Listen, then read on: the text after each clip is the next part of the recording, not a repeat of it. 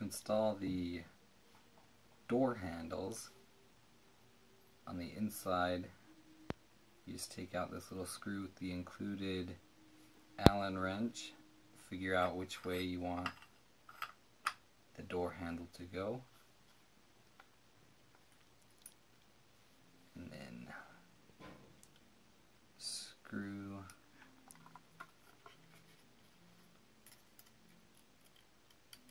the screw back in.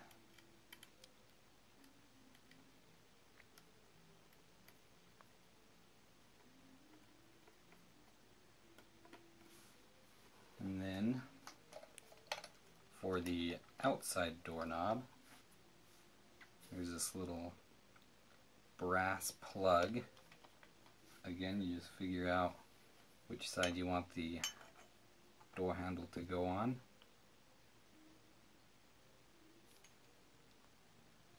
Stick the plug in the little hole there.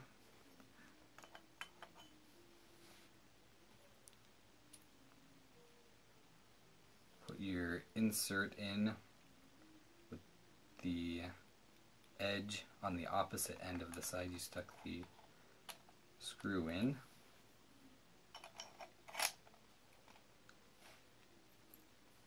And then you may have to turn the key a little bit for it to go in all the way. And then once you turn the key again, you'll see the knob stick out. That's all there is to it. Fall it into the door, you'll take the outside piece, feed the wire through the bottom, and then put the center in, and just wiggle it in there, pull the cable on the other side, and you can look on the other side so you get the holes lined up.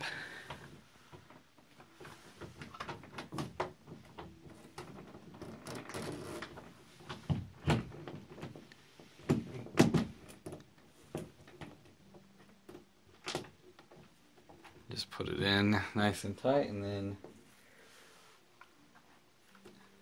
you'll take your inside piece and connect the wire.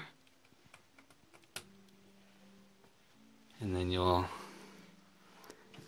just put that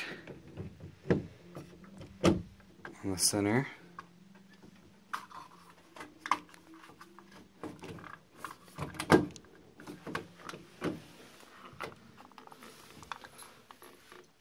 And you'll take your screws.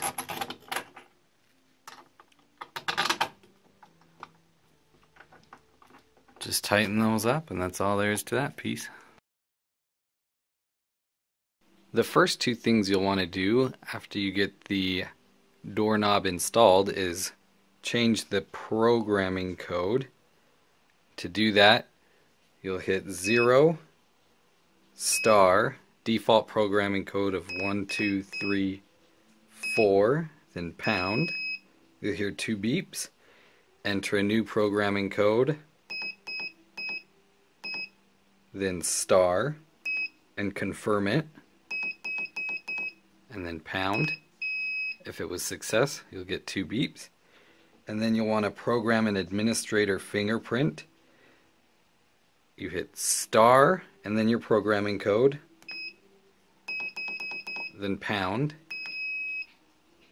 then one star adds a fingerprint, choose the user ID of zero for the administrator, and pound, then go ahead and place your fingerprint on top, and you'll hear a beep if it was successful. You can go ahead and test it out. Door unlocks. That's all there is to it. To add a fingerprint, just log in by hitting star, your programming code, pound, choose one star to add a fingerprint, choose the user ID, 1 through 99 and pound, place your fingerprint on top, then it'll get a blue light to confirm and a long beep, then you can go ahead and test your fingerprint and it worked. You can make sure that it's only recognizing your finger by trying a different finger that you haven't programmed yet and you'll get red lights and the door won't on, won't open. That's all there is. So after getting this door lock installed and using it for a while, I have to say I'm really impressed with it. There's uh, three ways you can open the door. Can use the key. You can use your fingerprint.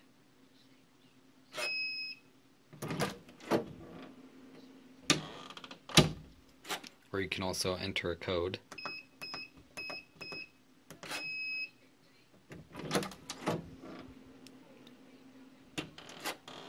It automatically locks when it's shut, so make sure you have one of those three options to open it. This works really well to secure my office.